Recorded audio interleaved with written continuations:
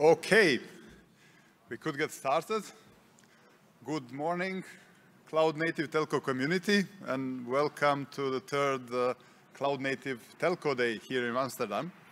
My name is Vuk Gojnic, uh, and I'm Kubernetes platform lead in uh, Deutsche Telekom Technik, uh, and I'm going to be your uh, host today together with my uh, fellow program committee member, Lucina Stricko.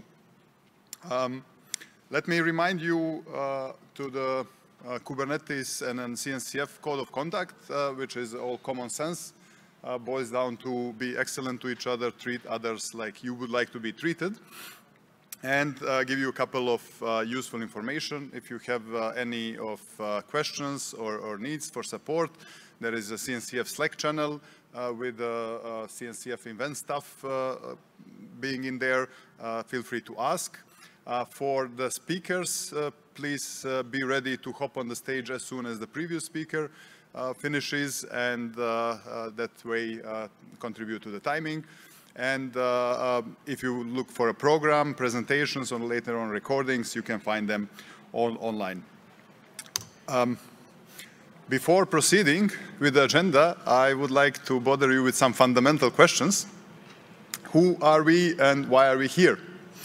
Before uh, I try and attempt uh, to answer these questions, which are not trivial, uh, I would like to share a couple of observations with you.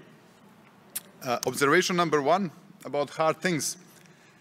If Kubernetes is hard, then Kubernetes in telco is a lot harder. And CNFs on Kubernetes in telco is even harder than that. It has to do something with the networking, and it's not hard to these days to, to get it functioning, but it's hard, hard to run it. And this is what I can confirm also from the experience, and I guess uh, many of you. Collisions. Kubernetes and CNFs are bringing the collisions to the telco world, collisions of the cultures. We have a ITIL versus DevOps and SRE. You won't believe me probably, but I was uh, having a serious discussions with my senior telco colleagues about uh, whether the rescheduling of the pod from a node to node should be treated as a change in the ITIL sense and should be approved by the uh, uh, change advisory board. I hope I'm through this discussion, but you never know. Uh, telco velocity versus cloud velocity. Uh, coincidentally, yesterday, and it's happening all the time, I had a, another lengthy and, and, serious discussion and sad discussion uh, with uh, relation to another application, a very critical application. I will not name it because it will be easy to pinpoint uh, the, the, actors there. But the, the story is like uh, they will be ready end of the year to upgrade, uh, to make their application ready to support Kubernetes 1.25 because there are some depreciations and some changes in the Kubernetes API, one of those being uh, uh, removal of the pod security policies.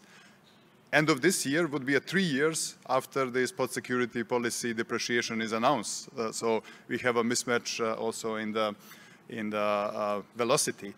Uh, third point, pre-integration versus a continuous certification in our industry, we are doing a lot of, uh, historically, a lot of pre-integration for a good, but uh, in the cloud native infrastructure and cloud native world, uh, any pre-integration does not have much validity, much value. Uh, the continuous testing, continuous certification is what uh, uh, still need to be there.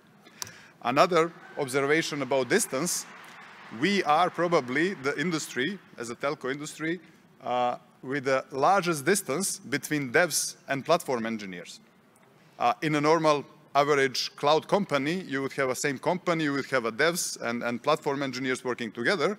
In our case, the distance is 10 times higher to the point that uh, platform engineers almost never meet uh, the developers and in some cases where it's possible, it's structurally not allowed and, and not, uh, not wanted. So these are all uh, quite substantial challenges that uh, we uh, are facing and that nobody quite figure out yet how to solve them. And this is why we are here. Why we are here is to work together, to get inspired, to give impulses uh, uh, to each other, and to work and find the community-based solutions for all those uh, challenges. And who we are, I dare to say that uh, we are the, the pioneers of uh, cloud native telco transformation. Why pioneers? I mean, it's a handful of us uh, here. It's a small group. If you go to MWC or other major industry events, you would have a thousand times more uh, people. But this is not the, where the transformation is happening. This is where the transformation and the trends are getting amplified. But here, in this room and the broader community, uh, we are the, the drivers of cloud native telco transformation.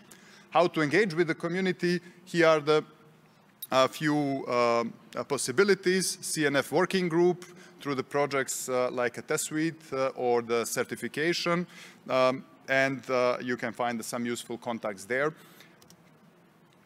A word uh, uh, about our sponsors, or better to say, future sponsors, um, because we still didn't have, didn't get one. And we need to get better, uh, probably, uh, in, in, future and engage more uh, to get to get this event valuable, seen as valuable in the eyes of sponsors. but word to the to the future sponsors, this is a chance for your company, great chance for your company to support Cloud Native Telco Day as a platform for uh, cloud native telco transformation pioneers to work together on the challenges that your company is facing. Uh, the upside from us uh, having the half a day, so we'll be running today until 12.30 uh, uh, roundabout. We got, according to new format, half a day event. Uh, the upside of these two upsides, one is we, we got the time for a community gathering sponsored by the Vulk uh, COP later on. Very much thankful for that.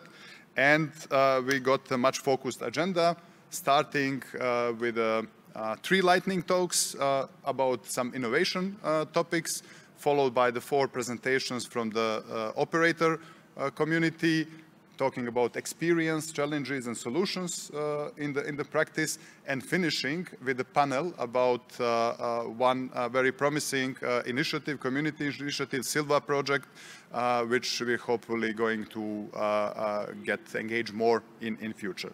With that, I would like to uh, Uh, invite our uh, first uh, first uh, lightning talk speakers, uh, colleagues from NTT, if they are here around. please welcome on the stage.